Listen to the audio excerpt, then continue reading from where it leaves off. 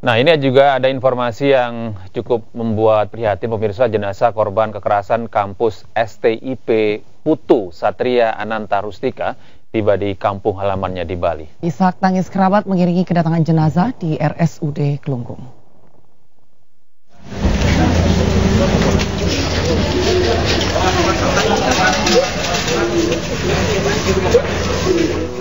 Isak tangis keluarga dan kerabat pecah ketika jenazah Putu Satria Ananta tiba di RSUD Kelungkung, Bali.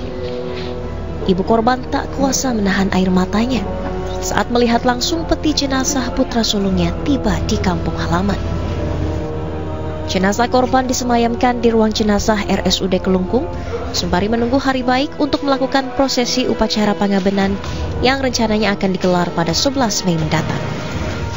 Orang tua korban pun berharap kasus penganiayaan terhadap anaknya dapat diungkap secara terang benderang. Dan hukuman setimpal diberikan pada pelaku yang telah menghilangkan nyawa putranya. Untuk pelaku setinggi ini seberat-beratnya, karena itu eh, menghilangkan nyawa anak saya yang begitu kami sayangi. Taruna STIP Putu Satria Ananta Rustika tewas pada Jumat 3 Mei 2024. Usai mengalami lebam di bagian ulu hati akibat penganiayaan yang dilakukan oleh seniornya. Korban sempat dilarikan ke klinik sekolah namun nyawanya tidak tertolong. Dari Kelungkung Bali, Igede Juli Arsana, iNews melaporkan.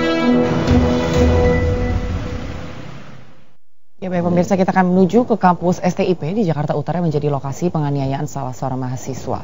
Sudah ada rekan kami Ismalia di sana. Selamat pagi Ismalia, bagaimana uh, informasi terkini dari STIP? STIP. Ya. Hmm. Malia. Selamat pagi, Gede, Anggi dan juga pemirsa kasus penganiayaan junior oleh seniornya ini kembali terjadi dan saat ini kembali terjadi di Sekolah Tinggi Ilmu Pelayaran Jakarta Utara. Dan saat ini kami berada di STIP Jakarta Utara yang di mana kondisinya untuk aktivitas ini masih berjalan dengan normal dan kami tidak melihat adanya anggota kepolisian di sini.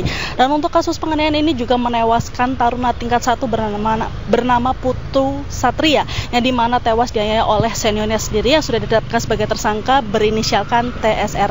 Ya dan untuk uh, rekonstruksi kapan dilakukannya rekonstruksi tadi kami juga sudah menghubungi Kapolres Jakarta Utara Kombes Pol Gideon ini tadi mengatakan bahwa untuk hari ini tidak dilakukan rekonstruksi dan belum ada jadwal untuk kapan dilakukannya rekonstruksi. Di sini kami juga akan mengulas sedikit uh, kasus penganiayaan yang terjadi uh, oleh korban Putu Satria yang di mana korban Putu Satria ini tidak hanya sendiri saja saat dilakukan penganiayaan. Pada saat itu dia bersama empat orang temannya dipanggil oleh tersangka T dan e, Putu Satria ini dipukul oleh tangan kosong oleh tersangka T yang di mana ini tidak hanya satu kali dipukul di ulu hati namun dilakukan lima kali sehingga korban terkapar. Dan saat terkapar ini juga e, alih-alih tersangka ini mau e, menolong korban Putu Satria. Namun dengan cara maksud kami dengan cara menarik lidahnya namun uh, perbuatan tersebut malah membuat Putu Satria tidak bisa bernafas dan meregang nyawa.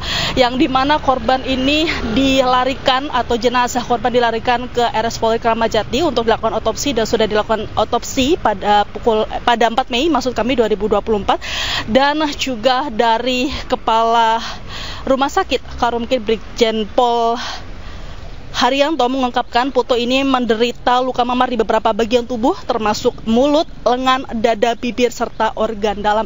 Dan saat ini jenazah Putu Satria ini juga sudah dijemput uh, oleh keluarganya dan dibawa pulang ke tanah kelahirannya yakni di Bali dan juga mau disemayamkan. Dan untuk tersangka sendiri ini dijerat pasal 338 KUHP tentang pembunuhan dan diancam hukuman paling lama pidana 15 tahun penjara. Kembali ke Anda Anggi dan juga. Ya. Baik, terima kasih Ismalia atas informasi Anda dan kami akan terus memantau informasi terkini ya. dari STIP karena informasinya hari ini akan diadakan rekonstruksi di sana. Terima kasih, selamat bertugas kembali Ismalia.